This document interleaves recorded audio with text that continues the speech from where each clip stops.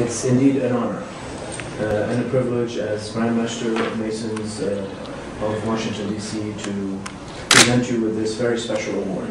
This is the most prestigious award that we have to honor an individual for his commitment to community service and humanitarian affairs. And in your case, Representative, well, Honorable Sir, your lifelong commitment to civil rights, to the success of the American experiment is truly appreciated and is noted everywhere in this country.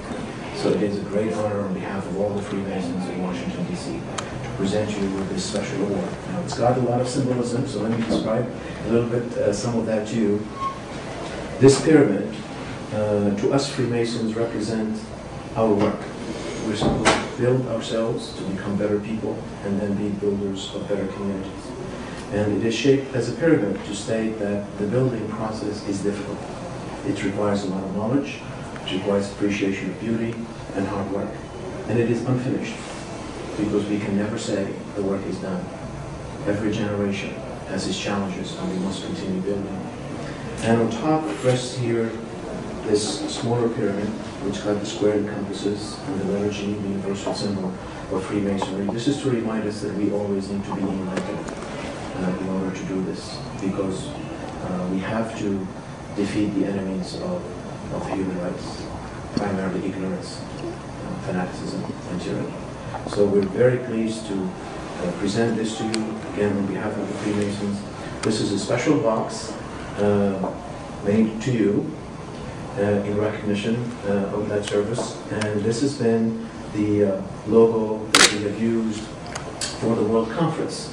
And we've had the leaders from Africa, from Asia, South America, Australia, and of course, all over the United States and Canada, who've been uh, here with us uh, for several days talking how, as Freemasons, we can contribute to the betterment of humanity. Um, and they all send uh, their regards to you. They were so delighted uh, that you were the recipient of this prestigious award. And we want to thank you. Well.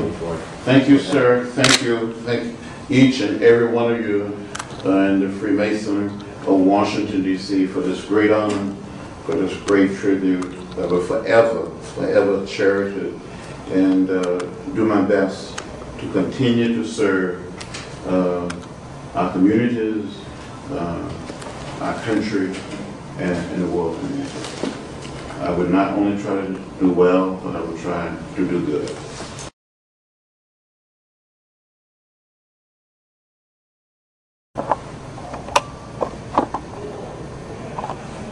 To the Masons, I feel more than lucky, but very blessed to receive this unbelievable tribute, to receive this uh, honor.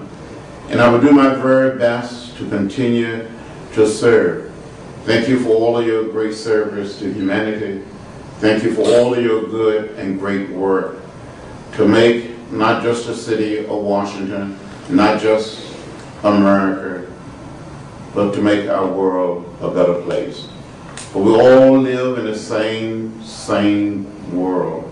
We all live on the same little piece of real estate that we call Earth. It doesn't matter whether we are black or white or Hispanic, a Native American, a Asian American. We're one people, we're one family, we're one house. The Masons have made a lasting contribution to our society, and I wish each and every one of you well as you continue to make contribution for generation yet unborn. Thank you very much.